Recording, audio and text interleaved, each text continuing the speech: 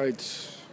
We're down here at the Ocean Athletic Stadium in a beautiful cruising wind, wind of 1.5, sunny. You see the palm tree blowing in the back. Lane 2 ballerina, aka Rachel.